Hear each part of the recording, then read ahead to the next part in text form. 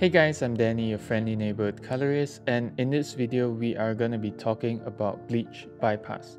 So bleach bypass is something that I use in almost all of my grades to add a bit more of a denser look because I'm trying to achieve kind of rich ARRI colors but we're unfortunately not shooting on ARRI. So what is a bleach bypass? According to Wikipedia, this term bleach bypass, also known as skip bleach or silver retention, is a chemical effect which entails either partial or complete skipping of the bleaching function during the processing of colored film. The images usually have reduced saturation and exposure latitude along with increased contrast and graininess. So this is the effect that we are trying to emulate. And the good thing about this is that you can do it all in Resolve. You don't have to download any plugin or any DCTLs to achieve this kind of effect. So I'm going to show you how to do a bleach bypass effect and after that I'm going to show you how I usually use bleach bypass on all my projects to achieve the look that I'm going for.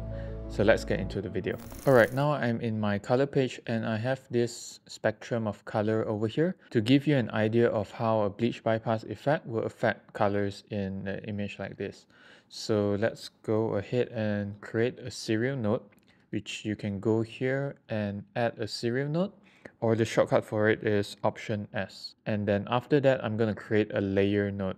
So you can either choose option L or you can click into the node and add a layer node. So the bleach bypass contains only three nodes and I'm going to label them first. So the first node is just a basic adjustment and the second node is just a placeholder. You don't have to do anything on it. And the third node is where we do our desaturation.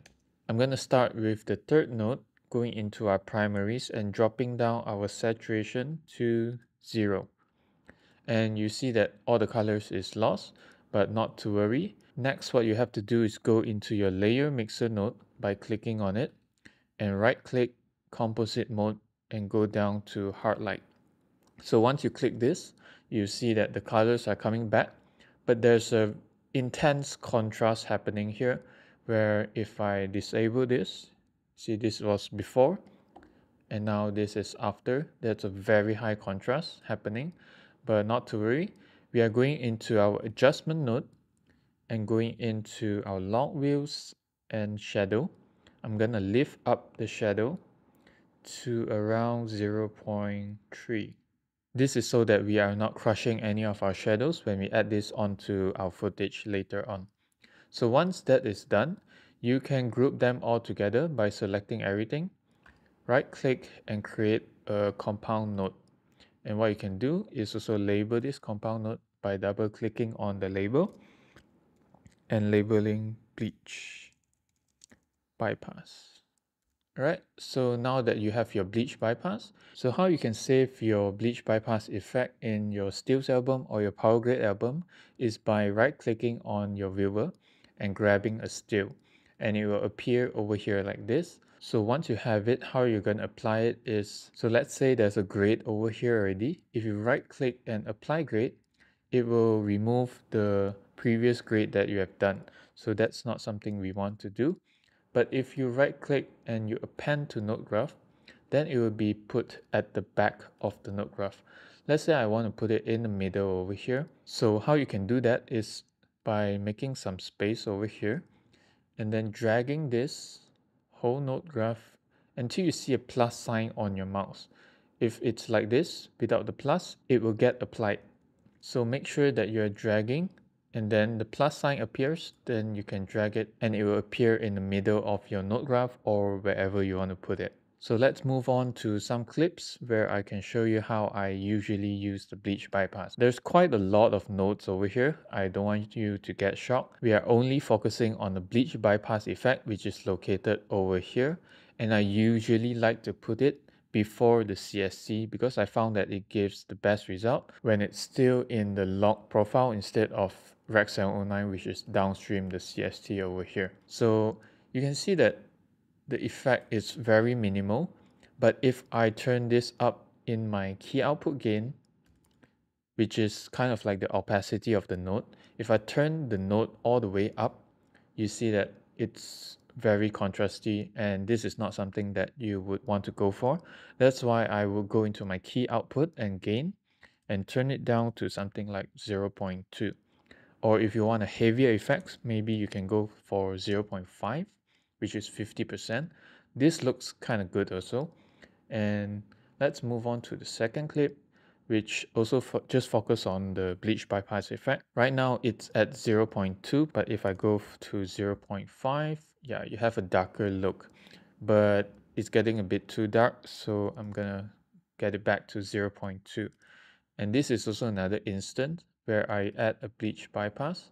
So the bleach bypass effect desaturates everything and also adds a bit of density to the grade, which is very favorable most of the time because you don't want your grade to look too cheap like it was shot in Rec 709. It looks very amateurish when there's a grade that looks very poppy, very vibrant. The direction that I usually go for is more of a western company tree kind of look. So there's very dense colors in those kind of gray. And now moving on to a brighter scene, which you might be able to see the bleach bypass effect more clearly. Again, focus on the bleach bypass over here. And we are going to turn it up by resetting the key output gain. So you can see that it's very dense. It's a bit too, too desaturated. But let's say if I move it to 0.5, let's do half.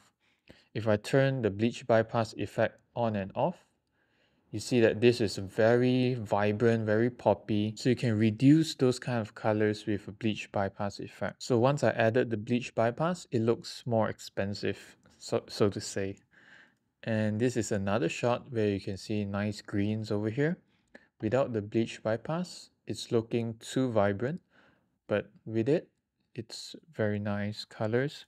And let's increase it to 0.5 and you get even darker, denser colors. This is another shot with more skin tone. Without the bleach bypass, it looks bright and with it looks a bit more darker. So yeah, usually I just turn down the key output gain to 0.2 or 0.3, sometimes even 0.1 to just add a little bit of density to knock off the vibrancy of what you get straight out of the camera. And I even have directors coming to me saying that, oh, this Sony footage looks a bit like ARRI, like what did you do over there? Then I say, definitely it's the bleach bypass effect because it just knocks off the saturation and polish up the whole grade. That's why I love it so much and I use it on almost all of my projects. So that's it for this video. If you found something useful, feel free to drop a like and I'll see you guys in the next one. Bye bye.